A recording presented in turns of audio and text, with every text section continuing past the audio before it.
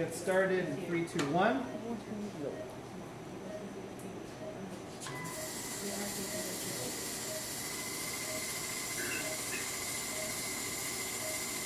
So four minutes, 51 seconds. We're coming through the front part of the prostate, which is the median lobe extending out into the bladder.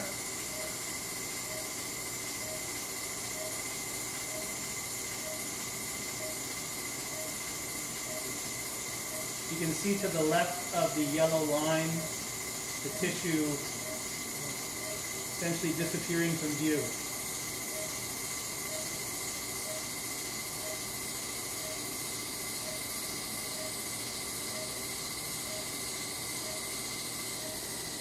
We're coming up to 80, uh, 75% power as we're coming over the bladder neck.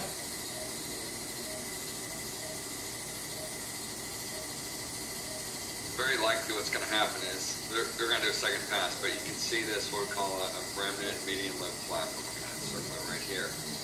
We'll see what a second pass does this, but there's a good chance that there will be a flap left. And uh, when Dean goes in to do hemostasis, he'll just use his loop and essentially just cut this off right here. Yeah. And that, that tissue will be removed.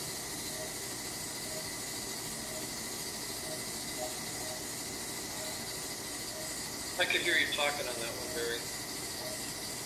Um, I didn't have mute on that. My, my other, I have, so many mute buttons to deal with here. Well, good thing you didn't say anything mean about the doctor. That's true. That's true. Hopefully Dean approved of my commentary. I- I've heard all before. All right, good. Good. So now the power is going to increase incrementally as we go through the uh, bulkiest part of the prostate.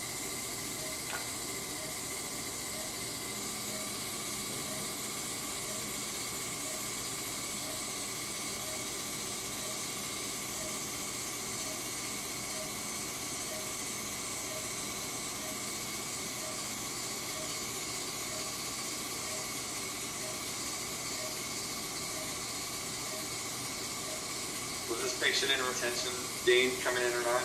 Uh, high post void residual, not no catheter. Okay.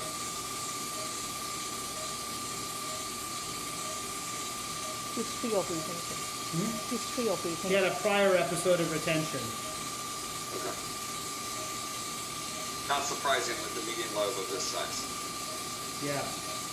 And I can say that um, this person has traveled from another part of the country for this. So, you know, he did his research and, um, you know, took an airplane all the way here to, to do this because, um, well, we're the only center in Canada, but, you know, he wanted this over what was available to him locally. Good. So what, what's your position on, excuse me, on if there's a remnant flap left? Do you prefer to dip the hand piece or do you prefer just to use the loop? I think that's? I mean, we can, we can certainly try and dip the hand piece, uh, but I think there's always going to be a little bit of when we do the focal bladder neck cautery that we can uh, carve off.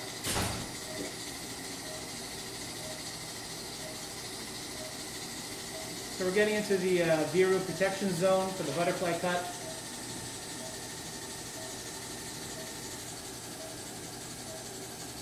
See it pretty well on the system. Yeah.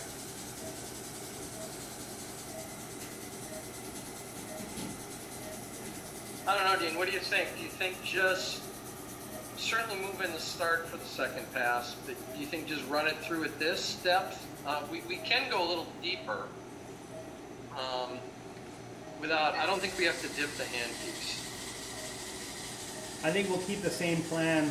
We'll keep the handpiece the same, Yeah, I, I and then agree. maybe just contour a bit differently.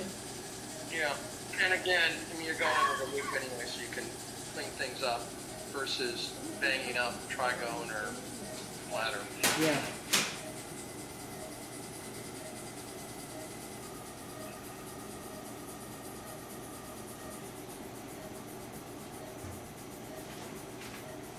All right, and that concludes our first pass.